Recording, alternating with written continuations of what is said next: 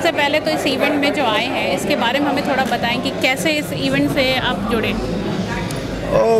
Mrs India गृह Lakshmi contest है और uh, इस शो को मैं होस्ट कर रहा हूँ। Uh, प्रतियोगिता है जिसमें uh, कुछ गृह लक्ष्मियाँ जो हैं अपने घर की जो लक्ष्मियाँ हैं वो भाग लेने आई हैं। तो इसे होस्ट करके we going to figure out कि उनमें से सबसे बेहतरीन कौन है। And I am looking forward to hosting the contest I think uh, am going to have fun, enjoy myself.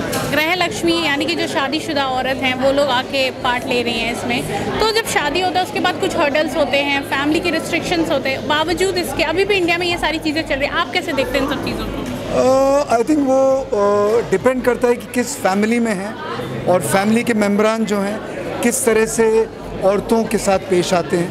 अब ज़िंदगी में कई फैमिलीज़ ऐसी होती हैं जो औरतों की एक तरह से मदद करते हैं। उनको आगे बढ़ने के लिए भले ही उनकी शादी हो या नहीं हुई हो। और कुछ लोग ऐसे हैं जो दबाना चाहते हैं तो उससे बहुत फ़र्क पड़ता है कि किस फैमिली में आप जाती हैं। और मैं तो यही चाहूँगा कि भले आपकी शादी हो या ना हो आ, हर औरत को मौका मिलना चाहिए कि वो आगे बढ़े। और शादी के बाद तो अवश्य उसे काम करना चाहिए आ, पैसा अवश्य कमाना चाहिए आ, सब कुछ खुद कोशिश करनी चाहिए कि वो अपने पैरों पर खड़े हों। सर आप बिग बॉस के पार्ट भी रह चुके हैं और हाल ही में बिग बॉस के जो कंटेस्टेंट हैं एलविश और अभिषेक इन सबको बहुत प्यार मिल रहा है। आप कुछ कहना चाहेंगे कि आप बिग बॉस फॉलो करते हैं अभी भी?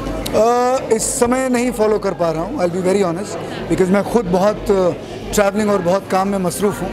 बट ऑनेस्टली मैं कुछ खास कह नहीं पाऊँगा इस समय बिग बॉस के बारे में। But best of luck to all the contestants जो टॉप टू या थ्री में हैं।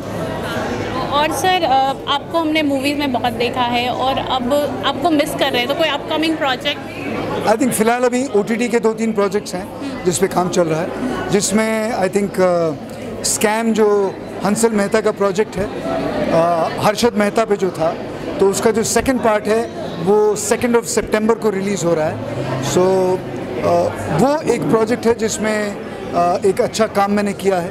So I'm looking forward to that. OTT के कौन से प्लेटफॉर्म पे आने वाले That is going to be on Sony Live. Sony Live पे. Thank you.